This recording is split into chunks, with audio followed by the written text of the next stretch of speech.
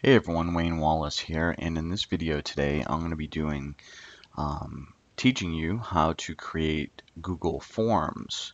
Uh, it's free, it's part of Google, and if you don't want to spend money on something like Aweber or MailChimp or one of those other uh, email uh, platforms, uh, autoresponders, then you can use Google Forms and just kind of get started with it on the cheap.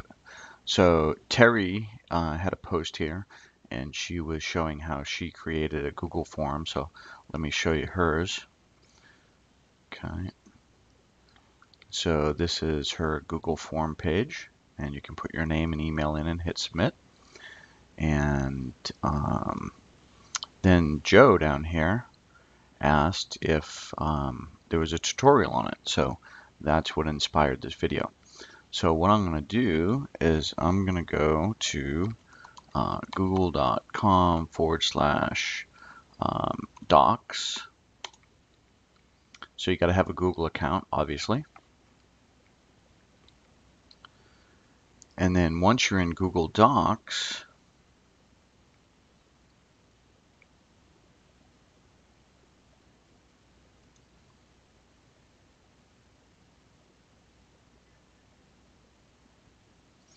and you come here to the create button. And uh, one of the things you can create is a form. So if you create that form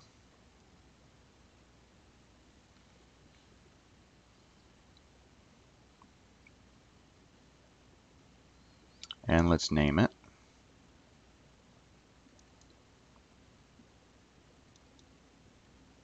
Let's name it uh, test uh, WA form. Okay, and you can choose a theme. They have all kinds of themes down here. So let's just choose uh, this sample one right here. Okay, it's a nice magazine style. Okay, let's just look down through these. Okay, so let's select that. And then let's say my first question is going to be name, because I want to get their name. And let's uh, helper text, we can put full name. And if it was a question, we could have multiple choice or whatever. Uh, we don't want to do that. It's just going to be a text form. So there's their answer is going to be right there. There's data validation. So if you're looking for like a number over 10 or greater than a certain uh, value, then you can put that data validation in there. You can make it a required question or not. Let's make that a required question. We want their name for sure. And then we can add an item. So let's add an item, add another text item. Uh, we could add, you know, a date item. We could add a time item. So it's pretty much any type of form um, item we can add to this. So I'm going to add another text item and this one's going to be email. Helper text is uh, your email address. It's a text item. We don't need any data validation. We want it to be required. We're going to say done. Okay. And then uh, confirmation page. Um, right now just says your response has been recorded. Uh, publish and show a link of the results. No, we don't want to do that. So maybe if you were doing a survey form and you wanted to show the results of what other people had said, you could do that. And uh, allow responders to edit responses after submitting. We're not going to allow that.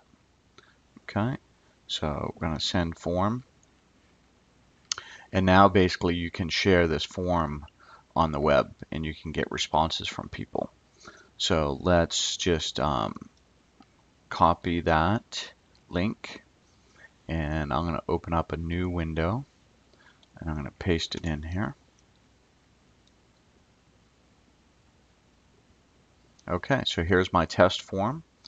I can put my name in here, Wayne Wallace, and my email address. We'll put wayne at waynewallace.com, and I'll hit submit.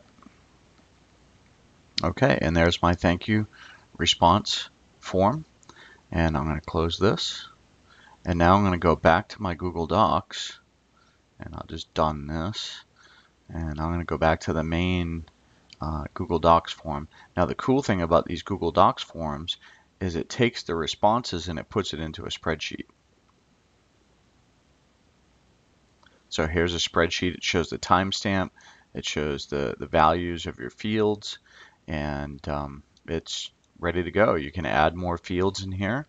So let's say um, I can add one that says emailed first response. So if you're going to do your own email uh, automation manually, then what you could do is you could put uh, fields in here and you could um, you could do something like this. You could say this is my first um, email response. This is my second email response.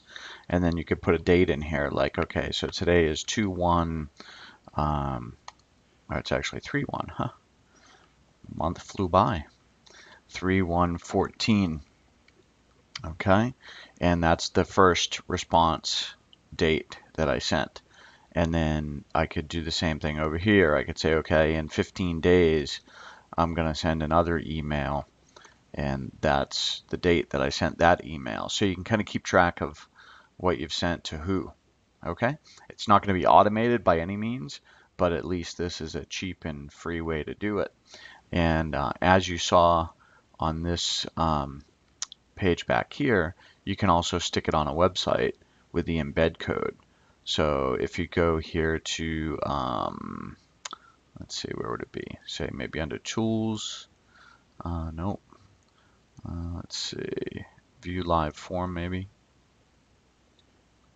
Okay, yeah, we can edit that form. I don't want to edit the form.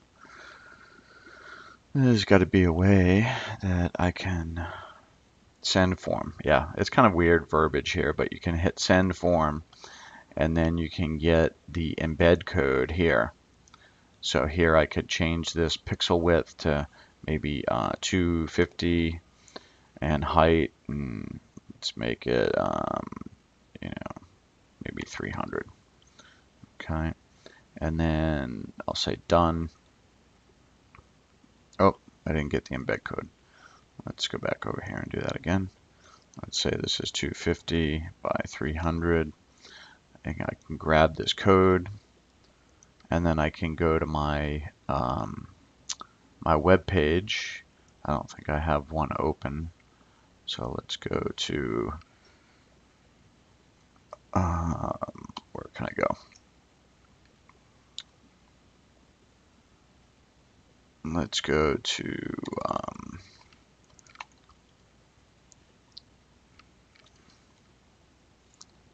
this one right here.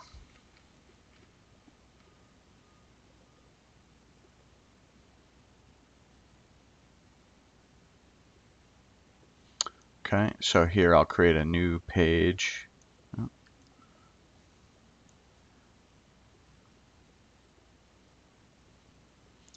And I'll go to text mode and I'll paste this code in and I'll say publish. And then I'll view the page. So now I've got this form right here on my website. Okay, I could put it over here in my sidebar like I did with my Aweber form. Okay, so the only um, you know downside to using Google Forms is you got to watch your email and um, see when you get a response and then go send out your emails uh, manually to respond to those people. But hey, that's okay if you got the time to do it and uh, you're always on your email. Uh, people usually expect immediate responses from this. And uh, the other thing that Aweber or any other mail system allows you to do is do a double opt-in.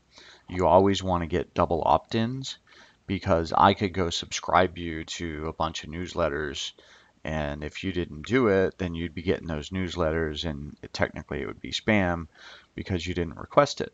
So the double opt-in helps you to uh, make sure you're only getting valid email addresses. Okay, hope that helped. Thanks. Bye.